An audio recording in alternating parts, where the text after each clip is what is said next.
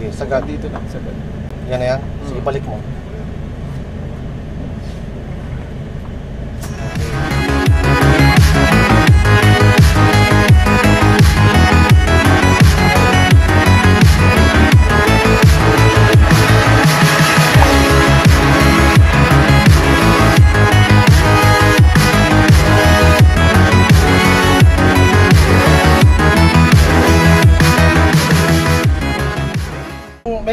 Kayong speed limiter.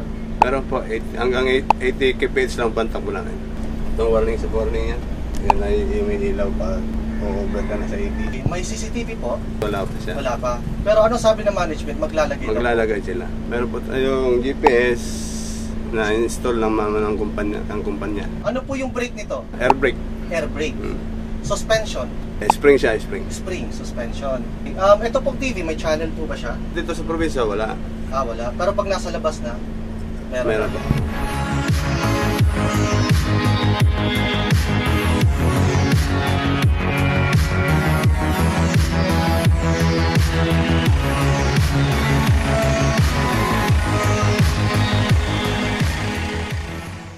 Hey there, this is Juan Marco once again for another bus review.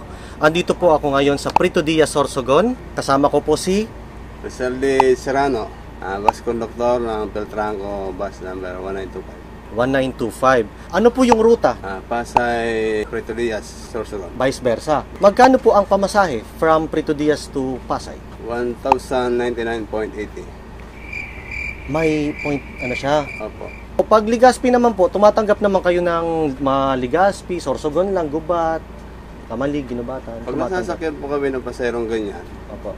ina-accommodate naman po namin ng mga ganyang pasero. Hindi Okay. po kami tumatanggap. Halimbawa, sir, ah Prito Diaz, Ligaspi, eh, magkano kayo pamasahe? So, hindi kami dumadaan ni Gaspe, drop lang siya ng Darga. Ah, drop lang ng daraga. From Prito Diaz, so Darga lang, 171.60. Ito po yung ter- official terminal ng Prito Diaz, wala nang iba. Tama? Meron po. Ah, meron ano din. lang siya, temporary lang po ito. Ah, kasi temporary lang. Ang terminal natin nasa plaza. Ah, plaza. Oo nga, ginagawa pala doon yung sa Ginagawa plaza. Nagtatanggap po ba kayo ng ah, mga bagahe? Bagahe lang.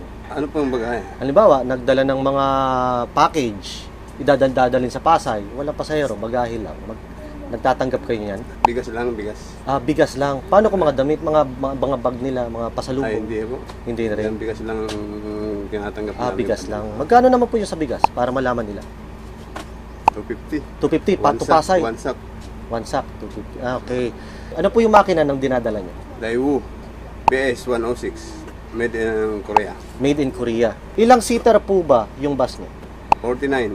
Priority seats sa mga PWD, seniors? Meron po. Meron Meron, din. meron pong naka-reserve sa kanila. Nagbibigay ko discount? 20%. 20%. Imbitahan mo po yung mga hindi pa po sumasakay sa bus niyo po.